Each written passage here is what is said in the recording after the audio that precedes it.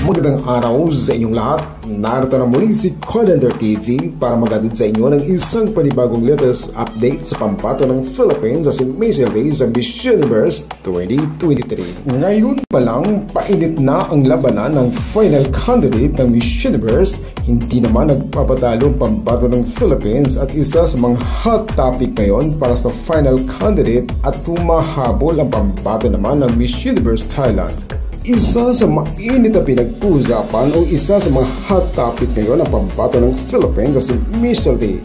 Humahabol naman at hindi nagpapatalo rito ang pambato ng Miss Universe Thailand at pasok po sila sa ngayon ang top 2 candidate na isa umano sa mga strongest candidate na magkaibigan na maglalaban para sa top 2 para sa Road to the Crown para sa final Miss Universe 2023.